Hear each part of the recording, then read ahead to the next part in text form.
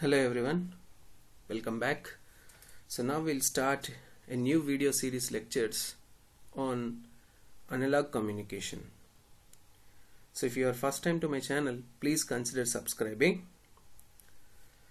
So first of all what is communication? So communication is the process of transfer of information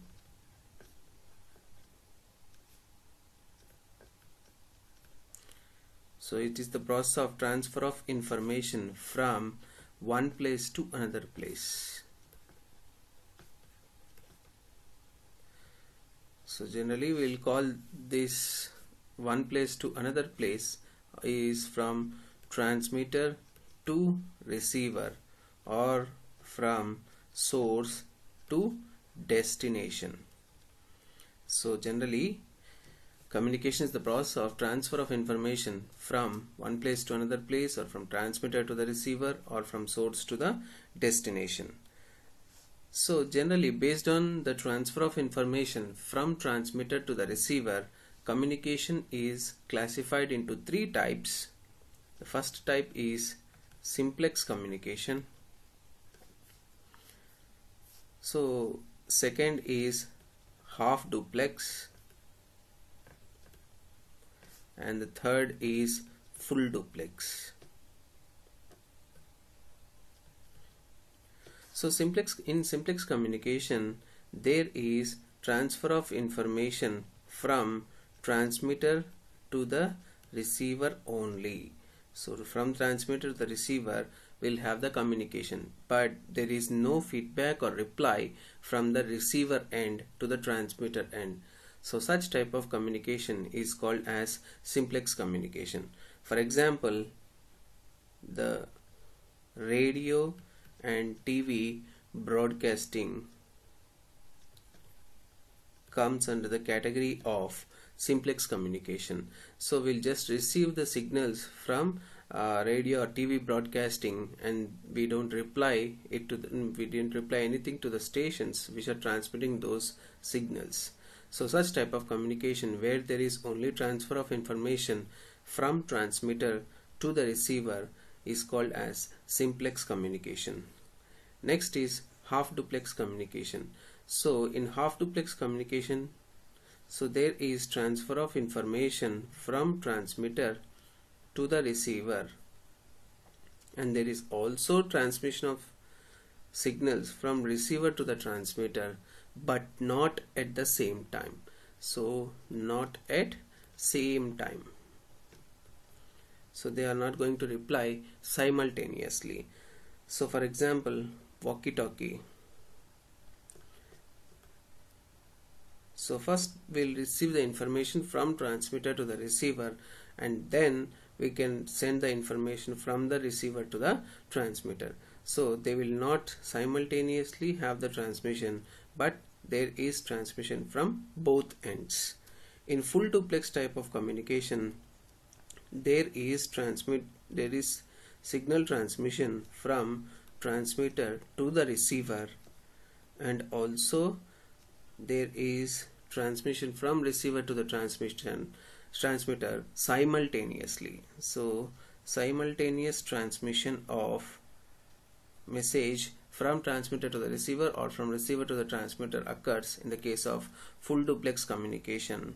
So, so uh, example for that type of full duplex communication is mobile communication. So in mobile communication we can have a simultaneous transmission of message from transmitter to the receiver or from receiver to the transmitter. Such type of communication is called as full duplex communication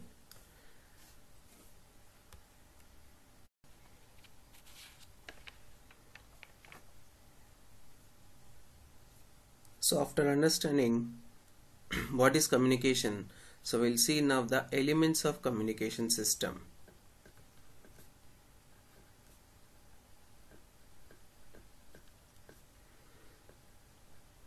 So elements of communication system.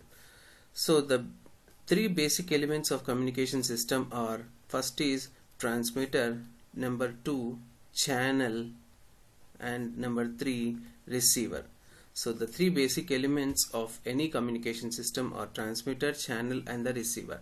Transmitter is the uh, part of communication system which transmits the information which transmits the information. Channel is the part of communication system where the message signal will travel from transmitter to the receiver. And receiver is the part of communication system where it receives the uh, message signal and gives it to the destination. That means to the user or to the loudspeaker in the case of mic system or any destination where you are going to have the uh, at the receiver end.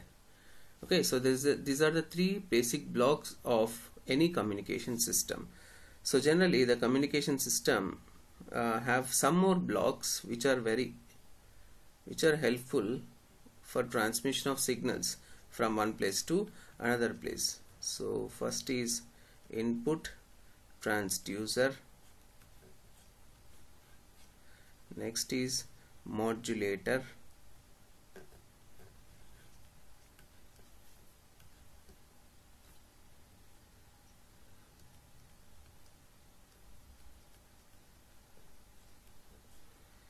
Next is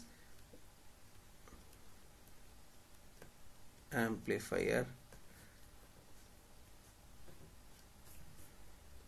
Next is demodulator.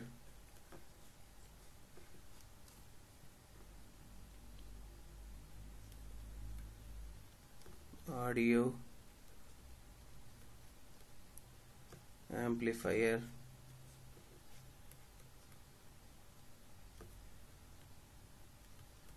next is to power amplifier.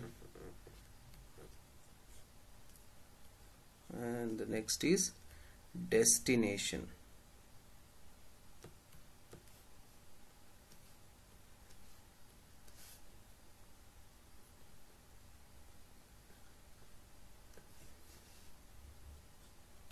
So the input signal here is the message signal. Generally we'll represent it as m of t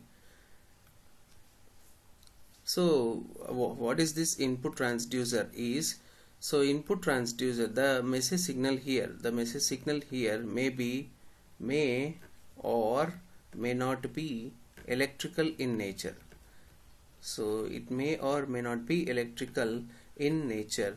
So input transducer is the uh, block which converts this non-electrical form of message signal into electrical form so in my uh, in my communication system generally voice signal voice signal is the input. So voice is non-electrical form of the signal. So this non-electrical form of voice signal is converted into electrical form by using this input transducer. So input transducer converts non-electrical form of message signal into electrical form because all the uh, communication system uh, or the electronic circuits works on this electrical signals only. So first of all we have to convert non-electrical form of message signal into electrical form. So input transducer will do that operation. And since the electrical form of the signal which is generated is of very low frequency signal the input so the signal which is generated that is the message signal which is generated into electrical form is of very low frequency signal. So if you transmit this low frequency signal directly then it there are two disadvantages. One is it cannot travel long distances. So if you transmit this it cannot travel long distances.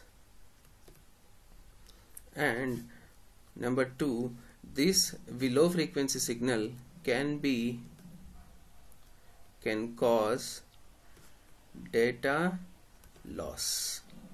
So transmission of this low frequency signal can cause data loss. That is any other receiver which is not the intended receiver can receive that signal because it is of very low frequency signal. Any small receiver circuit can receive that low frequency signal so these are the two disadvantages which we have if you transmit the low frequency signal directly.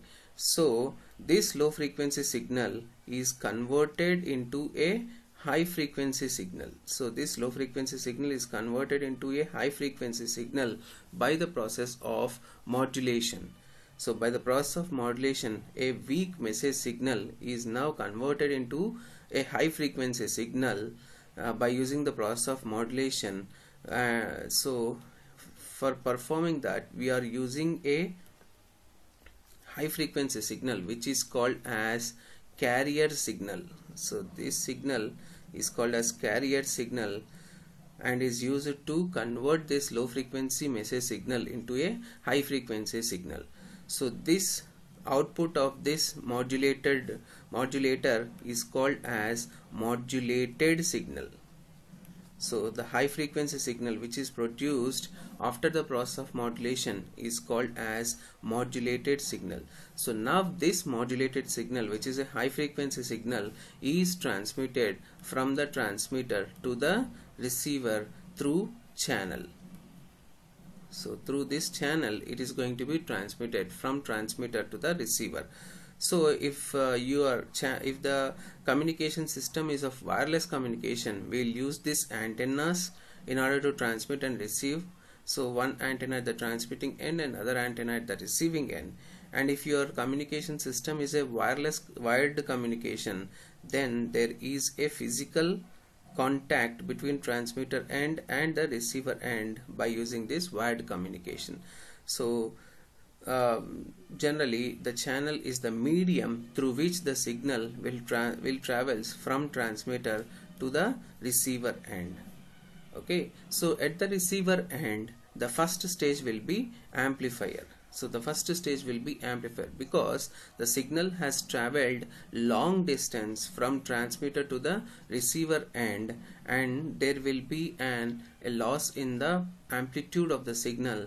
So due, due to different uh, sources of noise due to different sources of noise there will be decrease in the amplitude of the signal. So amplifier will be the first stage of this receiver circuit. So amplifier will amplifies the uh, decreased amplitudes of the received signal. And then it is process it is given to demodulator. So demodulation is the reverse process of modulation. So in modulation we are going to add the carrier we are going to add this carrier signal in order to make the message signal a high frequency signal. In demodulation end we are going to remove that carrier which is added to the modulated signal. And then so output of demodulated circuit will be the original message signal will be the original message signal. So uh, this original message signal is passed through the audio amplifier and power amplifier which restores the power uh, in in the uh, message signal and then it is it is given to the output transducer. So this output uh, because we need the message signal to be in the original form not in the electrical form. So this is given to the output transducer. So the output transducer so there will be another stage which is called as output transducer. So this output transducer the output of this output transducer is given to the destination where we are intended to give the message signal. So these are the total building blocks of any communication system. So just as a revision I'll tell you once again. So message signal here the original message signal may or may not be electrical in nature. So input transducer converts this message signal into electrical form. So the electrical form of message signal is a low frequency signal. So if you transmit that low frequency signal directly it cannot travel long distances and data loss may occur so due to these two disadvantages we are converting the weak message uh, weak frequency signal into high frequency signal by a process called as modulation. So modulator is the circuit which performs the process of modulation. So the output of modulation is called as modulated signal here. So this modulated signal is passed from transmitter to the receiver end by a channel by the medium which is called as channel so the output of the after receiving the signal by the receiver the first stage will be amplifier because the signal have traveled long distances and there is distortion in the amplitude.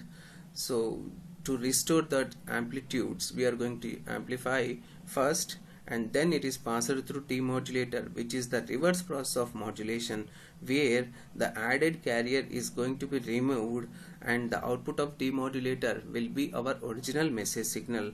So this original message signal which is newly formed signal uh, in order to restore their amplitudes we are going to pass it through audio amplifier and power amplifier and then it is passed through the output transducer because we require the message signal in original form. So output transducer converts electrical form of the signal into original non-electrical form and that message signal is given to the destination circuit that is to the uh, intended output. So these are the basic elements of any communication system